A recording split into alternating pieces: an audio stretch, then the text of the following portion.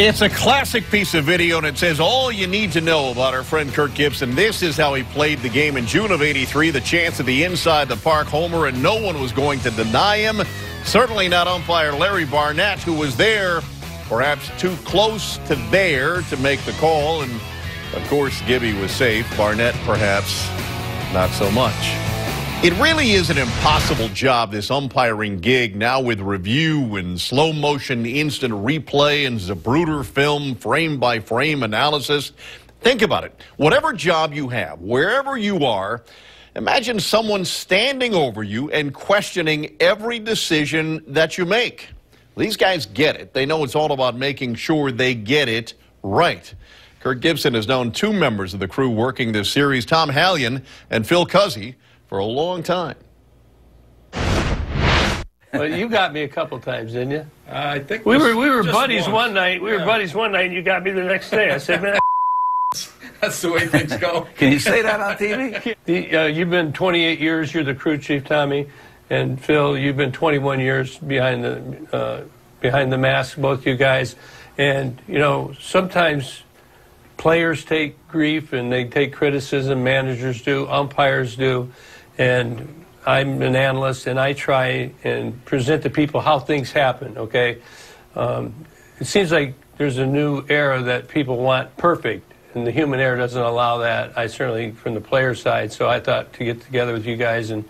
You know, when when when you guys miss a pitch, you know it most of the time, some of the time, and like if I swing and miss or I don't do my job as a player, I beat myself up. Is it similar as an umpire? Yes.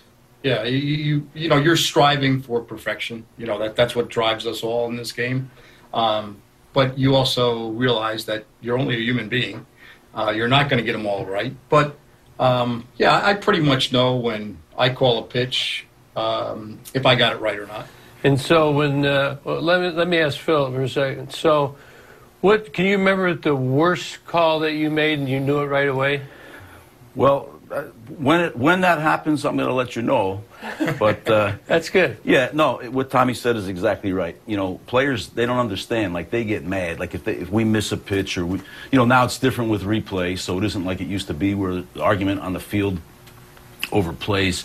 But certainly with pitches still, and and, and the players get mad when when they because they go back and they look and they can tell if if uh, if we missed a play, and uh, but they don't realize that as much as they are mad, we're we're more mad than they are, and I don't think that they understand that because we do beat ourselves up. Yeah. Because we we do try to be perfect, and we're not perfect. What are some of the things, reasons that legitimately would cause you to miss a pitch? Like one of the things is, I talked to my buddy Rick Dempsey just a second ago. We've been talking about this for a while.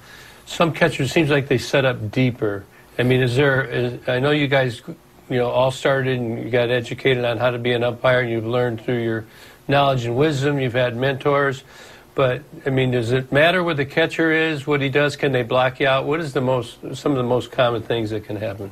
Well, one being blocking out. You know, catchers nowadays, uh, you know, when I first came up in 86, uh, you know, the game was different. I, I don't care who you want to uh, say that to or argue with me. The game is definitely different. Um, catchers nowadays they don't worry about catching that ball. They worry about catching the ball, getting it a strike, and getting in the dugout, come out and hit hit for home runs and hit for. I mean, it's all about hitting.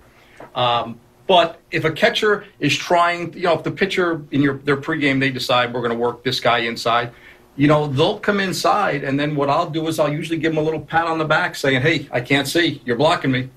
And most of the time, they will move a little bit to give you a, a chance to see it.